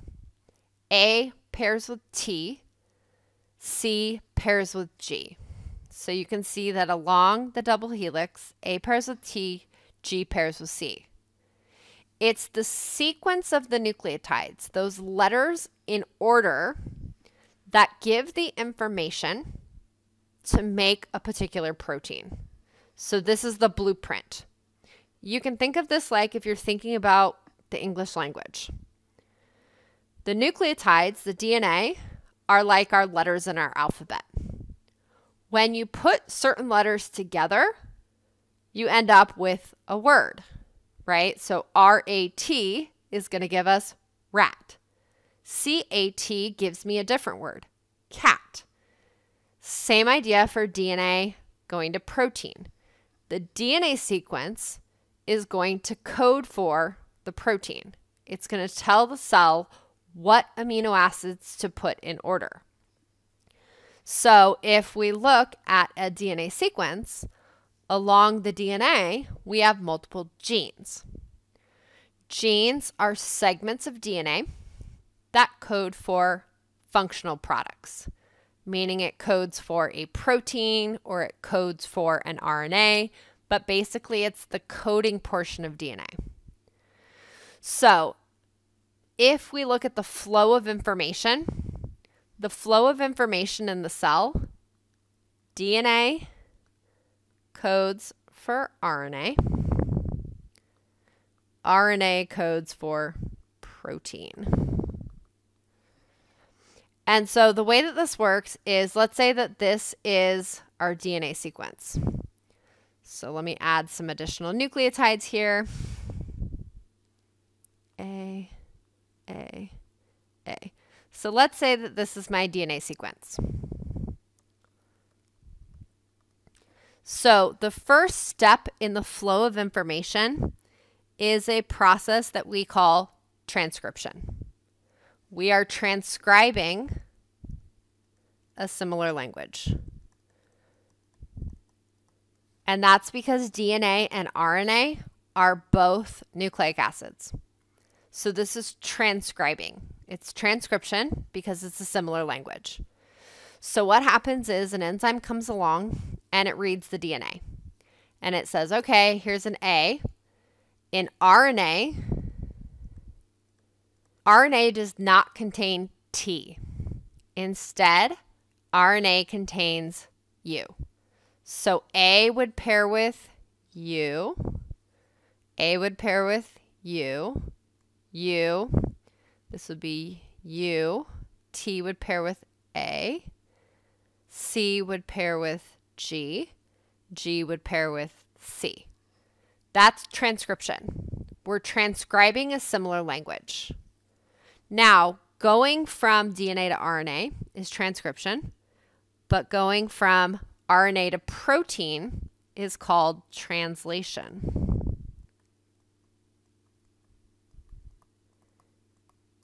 Because now we're translating from one language to another. RNA language is different than amino acid language. Nucleic acids, DNA and RNA, are distinct from proteins. That's why we call this translation. That would be like reading English and translating it to Spanish. They're two totally different languages. So what happens is, is now the mRNA is read by the ribosome, and the ribosome is going to come along and it's going to read the RNA, and UUU is going to tell the cell that should code for phenylalanine.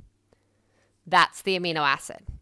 So we're translating UUU, that nucleotide sequence, is going to give us the amino acid phenylalanine. UAG, this is what we call a stop codon. So instead of coding for an amino acid, this would stop translation. But this is how information is going to flow in the cell. DNA codes for RNA, RNA codes for protein. So the DNA is the blueprint. The proteins are the workers. They're what's going to do the work in the cell. They're going to act as enzymes to speed up chemical reactions. They're going to signal within the cell. The proteins are going to do a variety of things within the cell, but that is all determined by their DNA sequence because you can't make the right protein without having the correct DNA sequence. In terms of life depending on the flow of information, information from the external and internal environment includes the stimuli, the signals, and the pathways that regulate body processes and gene expression. So again, that means that basically that outside stimuli are going to signal to get that flow of information in the cell. So let me give you an example. So let me give you an example that's shown here. So let's say you ate breakfast, right? As you eat breakfast and your body digests your food, the purpose of digestion, break down food into smaller molecules, and then that food can move from the digestive tract, so from the intestines into the blood. And then that glucose can travel throughout your circulatory system. It's going to travel through your blood. And the glucose is going to be dropped off to the tissues. And that, that glucose is used to make ATP. So when you eat, your blood sugar starts to go up. So your signal is your high blood glucose levels. Your blood sugar starts to go up because that food that you're digesting is now going into your bloodstream. So your blood sugar goes up. As a result, when your blood sugar goes up, your pancreas is an organ and it senses that change in blood glucose levels. It knows when blood sugars are high. As a result, the pancreas, pancreatic beta cells, are going to release insulin. Insulin is a hormone, so it's these purple dots, these purple triangles. So the pancreas is going to release insulin. The insulin is going to go into the bloodstream. What insulin does is that when it travels throughout the bloodstream, insulin serves as the signal to the body that glucose is available. So, what that basically signals to the body cells to do is it tells your other cells in your body, all the cells in your body, hey, glucose is here. You need to start taking up glucose.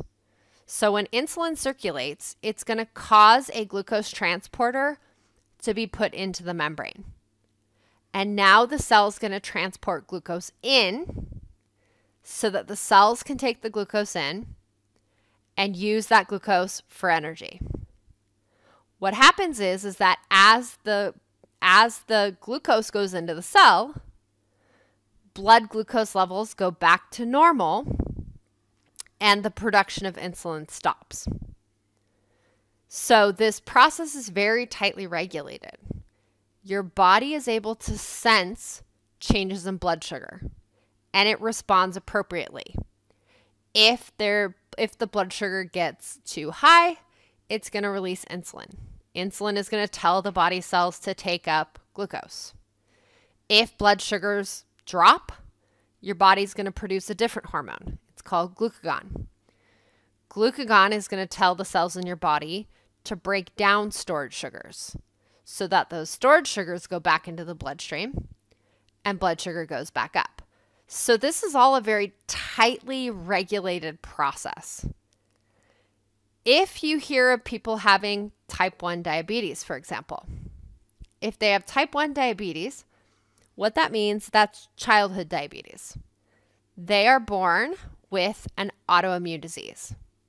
Autoimmune disease means their immune system is attacking their own body. So the immune system is attacking the body, and specifically, it's attacking those pancreatic beta cells. So the immune system is destroying those pancreatic beta cells. When those cells are destroyed, the body is not producing insulin. And if the body is not producing insulin, that becomes problematic. Because again, insulin is the signal to your body that sugar is available and for glucose to go into the cells. No insulin means no signal for glucose to go into the cells. Instead, the sugar stays in the blood and the patients end up with elevated blood sugars. Their blood sugar is too high because without insulin, they're not taking glucose into their cells. And so that's why patients who have type 1 diabetes have to have insulin when they eat because their body no longer makes it, so they have to artificially give it. Now, again, this is a very delicate balance though. Giving yourself too much insulin is just as dangerous as not having enough insulin. Because if you give yourself too much and all the sugar goes into the cells, now your blood sugar drops. You're going to faint. You're going to have problems. So, all of this network of signaling within the cells and within the body are interdependent. We have to have these signals, and the body has to communicate with the other parts in order for it to work effectively. Next, we have that structure and function are related. The relationship between structure and function can be observed at every level of life. At the molecular level, the structure of a protein correlates with its function. For example, if I look at hemoglobin, on the left here is a picture of a hemoglobin molecule. Hemoglobin is the protein within red blood cells that is responsible for transportation of oxygen. meaning that it allows hemoglobin to pick up oxygen. So if I look at the structure of um, hemoglobin, it's four polypeptides. They're color coded. So each of those is a different polypeptide chain. Two alphas, the gray and the purple, and two betas, the green and the orange. And you'll notice that within each of those subunits, you have this Fe, this iron, or this heme group. Each subunit has that iron in it, that heme group. That allows it to bind, um, that allows it to bind to oxygen. So hemoglobin has a very specific structure that makes it efficient in binding oxygen.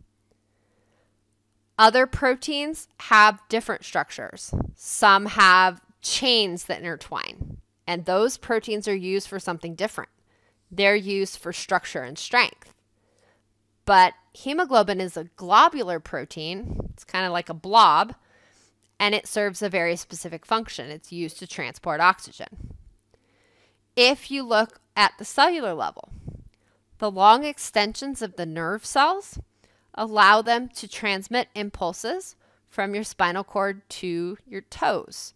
So you'll notice that we have these long axons, we have these dendrites, these little projections, and we have these axon terminals.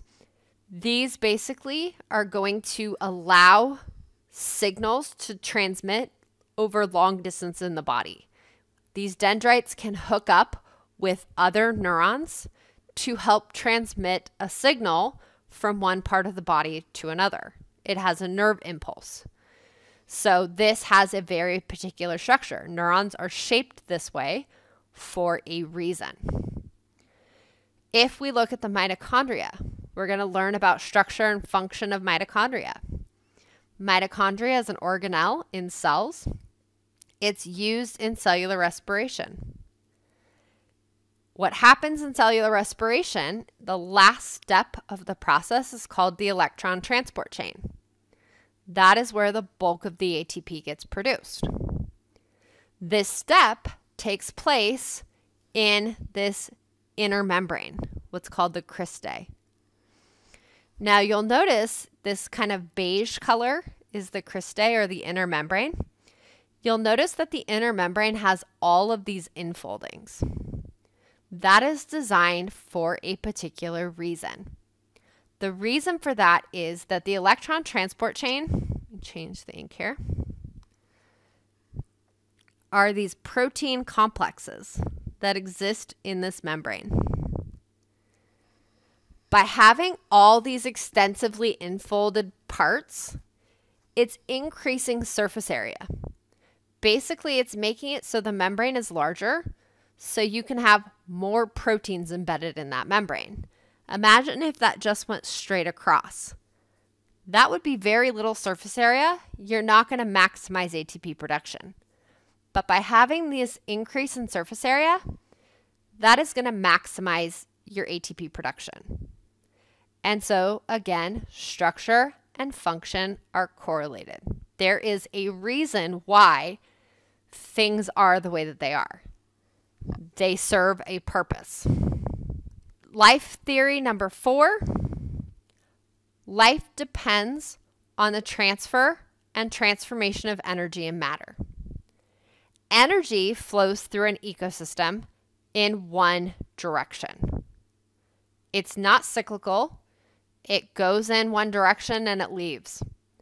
For example, the flow of energy in an ecosystem is it starts with the sun. The sun is solar energy.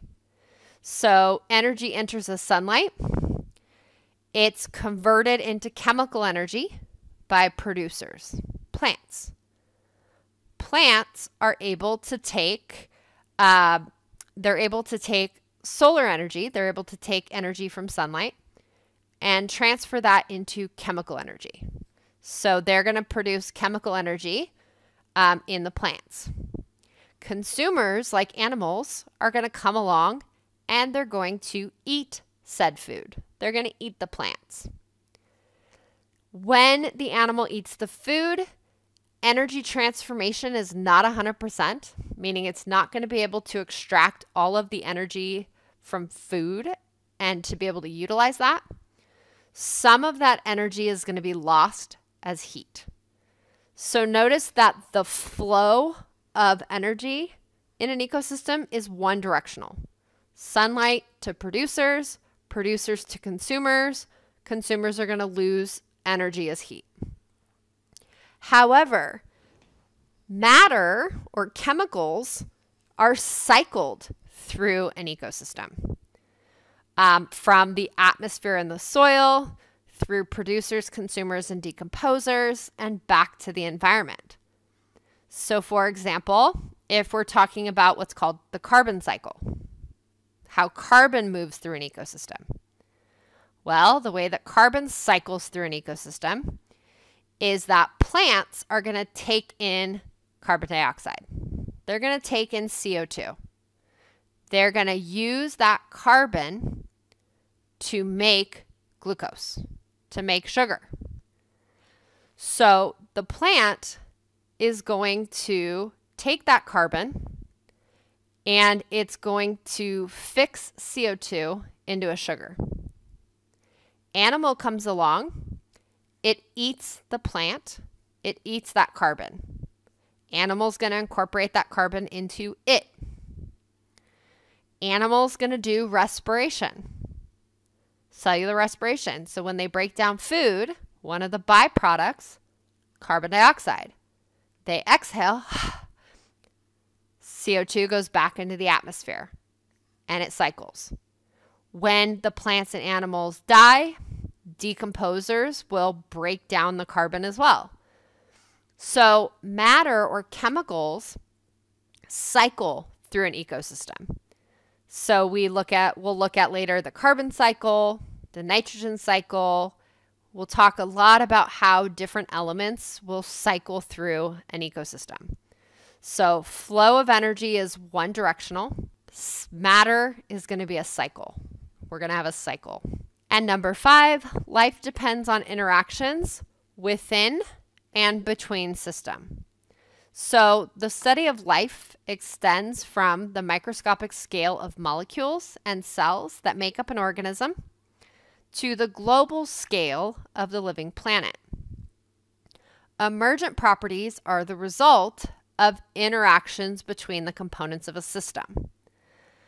An interesting emergent property that we will talk about in the chemistry lecture is that if you think about table salt, salt that we use in our food, for example. That is sodium chloride. Sodium alone is a metal. Chlorine alone is a poisonous gas. Yet, if you take that metal and that poisonous gas and you put them together, you get an emergent property. You get this new property that exists as a result of the interactions it totally changes the property of the sodium and the chlorine. Now it's edible and you can eat it. Using an approach called systems biology, scientists attempt to model the behavior of biological systems by analyzing the interactions of their parts. And so, systems biology often is used to try and explain some aspect of biology that maybe can't be addressed through um, experimentation, meaning that we have to come up with models um, to help explain those phenomenons. And so we're using multiple approaches to solve some aspect of biology. And so one of the things in my project as a graduate student actually was looking at systems biology. And it was using mathematical modeling to basically describe how a stem cell population stays a stem cell population because there were just certain things that we couldn't do with experimentation. So instead, we worked with the math department and we did this mathematical modeling and then did experiments to test their models and went back and forth to try and answer some question about life. So, question for you the teeth of grain eating animals, such as horses, are usually broad and ridged. This makes the teeth suitable for grinding and chewing. Meat eating animals, such as lions, have pointed teeth that are good for puncturing and ripping flesh. This illustrates red, a result of natural selection only, yellow, the connection between form and function only, green, a food web, blue, a result of natural selection, as well as the connection between form and function. So pause, and when you're ready, you're going to hear the answer to this question. Okay, hopefully you've thought this through. The answer is blue. This illustrates both natural selection as well as the relationship between form and function, right? These animals have evolved to have teeth that have a particular shape because it gives them some advantage. They're dividing up resources, right? The horse is eating a different food source than um, the lion, for example. And so they've evolved to have different teeth, but those teeth also have that correlation between form and function. Structure and function are related. Teeth are shaped a particular way to carry out a particular function. And so this one is blue.